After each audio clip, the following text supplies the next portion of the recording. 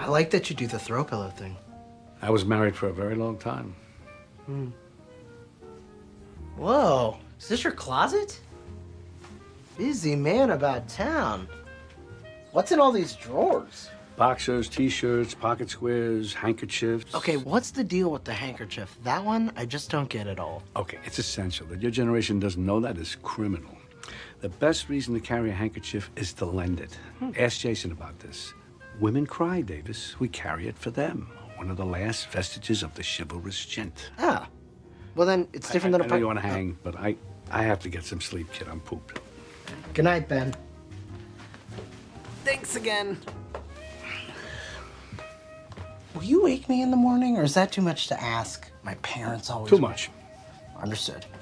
I'll just set an alarm on my phone. I hope I can hear it. I'm such a deep sleeper. Oh my God! I'll wake you. Thank you. Love you. Not kidding. I love you too. Now go to. Thanks.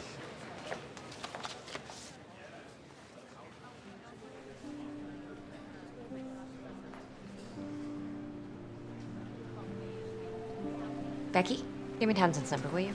Okay. This is Jules. Hey, Alonzo, what's up? Uh huh, okay. Do we need that many?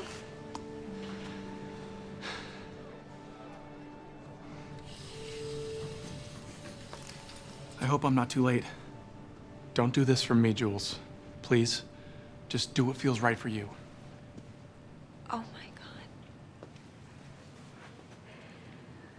I want to continue running my company, Matt. You gotta know that.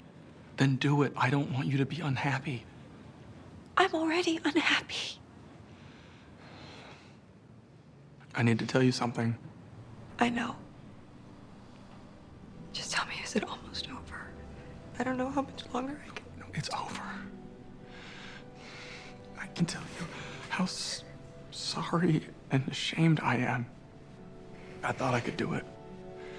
I thought I could be the guy that I told you I was going to be. And then somewhere along the way, I thought I was losing you. But it was actually me. I got lost. It's a confusing world out there, and who I am got messed up for a minute. And now I'm watching you, ready to give all this up for me. I will not let that happen. I love you, and I will do so much better if you'll let me.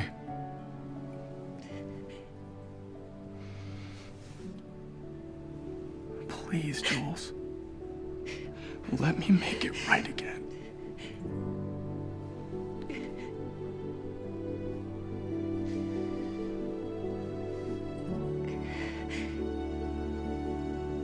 You know what would be good? If you carried a handkerchief.